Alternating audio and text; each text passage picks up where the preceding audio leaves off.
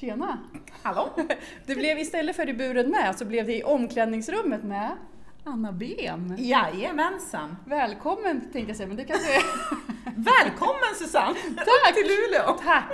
Underbar stad och underbar paddel har vi spelat. Ja, det blev jätteroligt. Ja, En rolig mixmatch med långa bollar. ja magiskt. Mm. Paddeln är ju fantastisk. Alltså, det måste vi Hur länge har du spelat paddel? Eh, Jag har spelat padel i två och ett halvt, tre år. Ja. Hur hittar, Ungefär. Du, hur hittar du hit? Jag eh, är mamma till tre vuxna barn och såg en annons och kände att fasiken, nu är det min tur. Eh, Jag har skjutsat, hämtat, agerat taxi och mattant i jättemånga år och tänkte att nu ska jag göra något själv. Såg en annons att det skulle starta eh, dampaddel och så tänkte jag, det där kör jag på. Och så började jag. Och sen är det ju en drog, sen blir man ju fast. Ja, Mer eller mindre. ja. Vad magiskt det. Ja. Eller är det både bra och dåligt? Nej, det är bara, Det är bara, bra. gott. Bara bra. Men Bara sen bra. är du ju faktiskt jätteengagerad i padden här också. Berätta om ditt engagemang. Ja, men just för tillfället så sitter jag som ordförande i Luleå padelklubb. Vi är en eh, relativt ny klubb som ännu är ett uppstartsområde skulle jag säga. Men jag har haft eh, fixat barnpaddel ganska mycket. Eh. Alltså jag varvar mellan att säga paddel och padel känner jag. Ja, det gör det Ja. Vi förstår vad du menar. Ja, tack. Ja.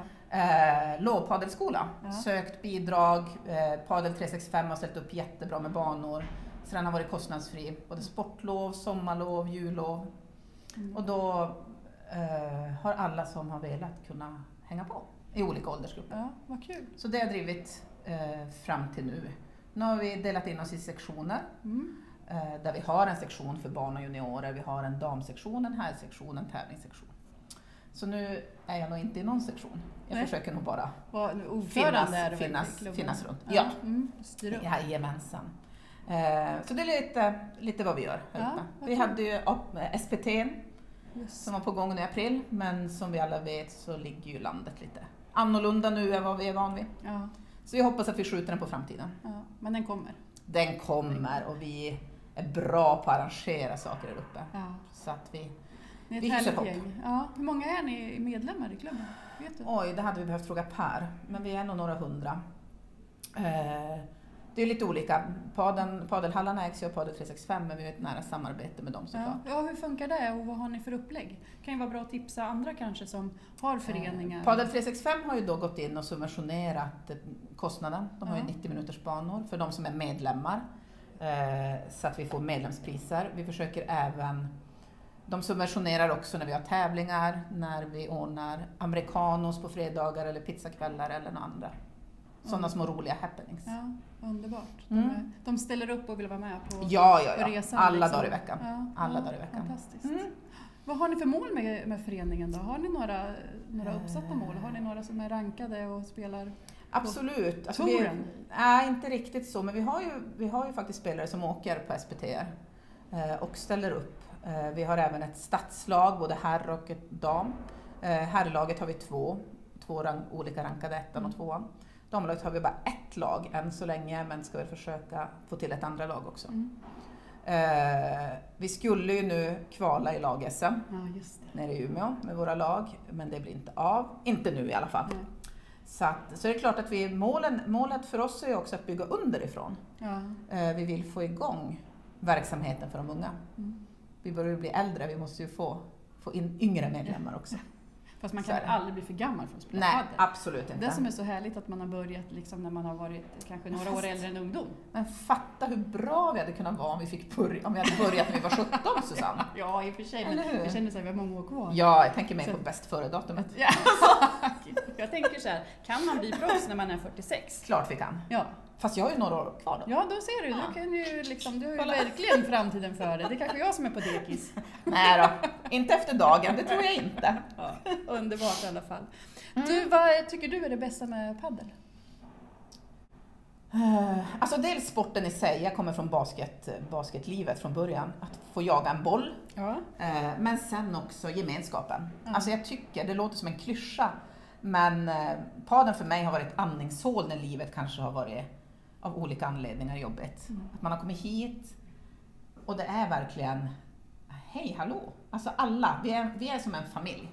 det är ju en sekt, mer eller mindre. Eh, och inte bara här, jag tycker att man, man träffar folk i tävlingssammanhang, man reser neråt, man träffar folk på andra tävlingar och det är samma. Man känner igen människor, alla är glada och öppna.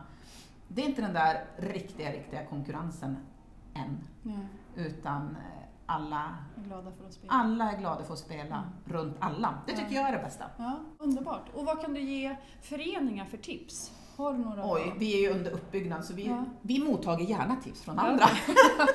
Men så här långt, har du något du... Eh, nej, men jag tycker ju att, att man ska satsa på de unga. Mm. Att bygga underifrån och jag vet att, att längst söderut i Sverige så är de jätteduktiga på det. Ja. Mm. Och vi försöker anamma Ja. hur vi ska lägga upp. Nu har vi så att när vi har träning för våra juniorer och barn så kör vi på alla fem banor samtidigt. Ja. För det underlättar också för de tränarna vi har. Om någon är sjuk eller någon är borta, man man slår ihop upp. grupper, man flyttar, man nivåanpassar lite grann eller miljöanpassar Mm. för de barnen vi har på banan. Underbart. Mm. Vad bra.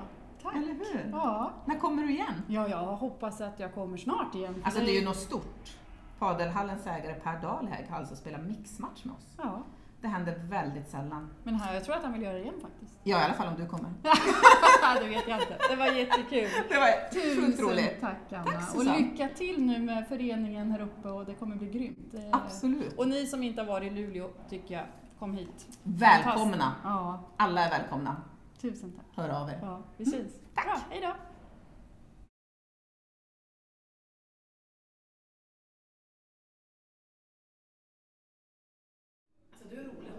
med journalistik? Och Nej det har jag inte, inte ett smack. Jag bara tycker det är roligt. Vi spelade in filmer när vi var små. Det är roligt! Ja, här sitter vi. Tack. Ja, här sitter vi. Ja, här sitter vi. Sätt mina Swarovski-pärlor. Så fint, vi ska få visa dem. Jag köpte den bara för att det var pärlorna på. Jag hade inte ens provat den. För att jag vill inte ha... Jag är ju sån här... uh, Don't be mainstream. Nej. Alltså jag vill gärna göra sånt. Ja. Jag skulle aldrig spela i kjol, för alla spelar i kjol. Då går inte det. Spelar alla kjolar? Eh, Jo, många. Ja.